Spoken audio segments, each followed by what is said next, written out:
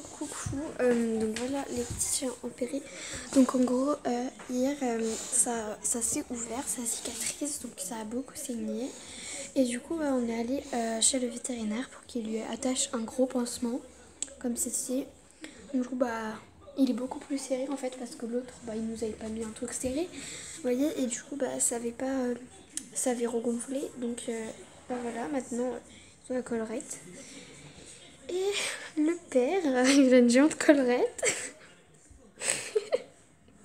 il n'a pas trop l'habitude celui-là. Parce que d'habitude on laisse sans collerette, mais là, voilà ce que ça fait sur le côté. Et il veut pas boire avec, donc, euh, donc euh, tu attendras qu'on revienne des courses, hein mamie Donc euh, lui aussi, mais du coup on lui met un t-shirt au lieu d'un bandage long.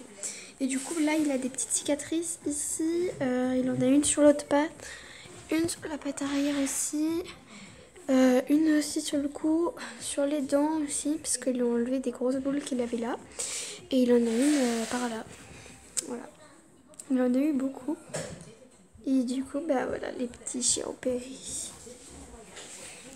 Quant au lapin, lui, il a rien. Là, il est en train de manger d'ailleurs. Voilà. Il mange ses graines. Regardez, je vais lui faire peur. Ah, il m'a mordu un peu.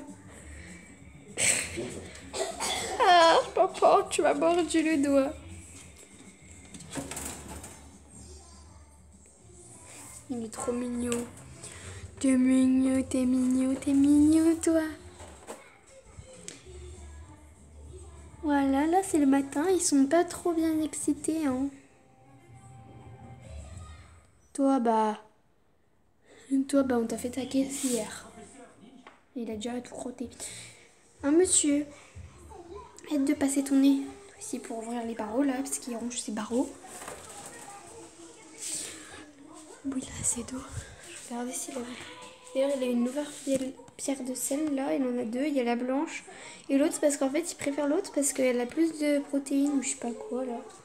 Truc euh, plus de sel. Voilà, bisous.